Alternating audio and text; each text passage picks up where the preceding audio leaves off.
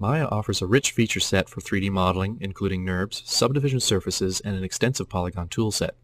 The SubDiv proxy feature enables you to easily create smooth, symmetrical polygon meshes while editing low-resolution proxy meshes. Pre-selection highlighting makes selecting the components easy so that you can quickly begin to shape your model. A wide range of tools enable you to edit the mesh at the component level to precisely control its shape, and at a high level to make broader changes. You can add to your mesh with extrusions.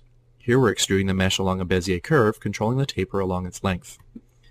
Once you've finished your model, you can create UVs ready for texturing. Maya offers many different ways of creating and editing UVs depending on the shape of your model, including various projections and tools for laying out, unfolding, and relaxing the UVs. You can also transfer UVs and other data like color per vertex from other models, even if their topology is different.